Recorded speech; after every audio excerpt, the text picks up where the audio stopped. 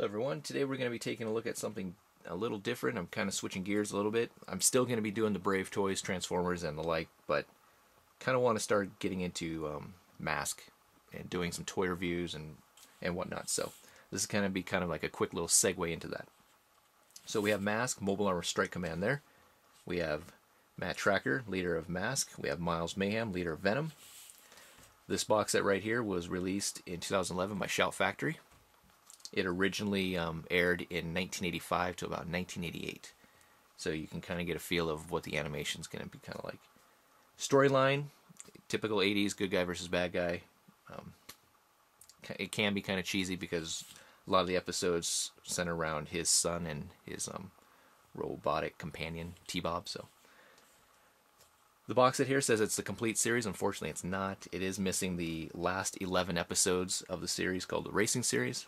I don't know if Shout Factory, um, I don't know if they didn't have the rights or didn't have the episodes, but hopefully someday we will actually get those.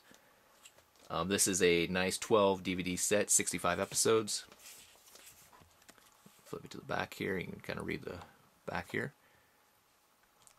Does say it has some bonus features. The bonus features aren't as good as you would find like on a Transformers or G.I. Joe box set, but better than nothing. Here are the individual sets here. You can buy these um, separately, volumes 1 through 3 and volumes 4 through 6. They're kind of going with the Mask and Venom theme. Just open it up here. Unfortunately, it's a generic picture, kind of the same one that we see here. Same picture that we see actually on the box art too. Would have been nice if they could have put some of the other characters on here. On the back, we kind of get an episode guide. This box set, same thing, same picture. And again, episode guide on the back. There were some unofficial releases of this series in 2005, 2006. I do have some of those. They were done by Vortex, who did a couple of other 80s um, cartoons. But um, video quality on these aren't as great. Some of the episodes are just horrible. But it is the complete series. This does have the racing series, so it would have been nice if it uh, could have been a little better, but oh well. But again, very nice series, covert, very um, innovative. I think in the toys, it's kind of like GI Joe mixed in with Transformers.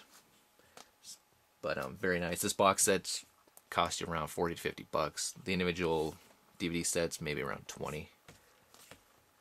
But um, I'm gonna start doing um, Mask Toys here. If you can see in the back, you can kind of see some of the vehicles. I'm going to start off with the racing series because that's the actual series I really enjoyed.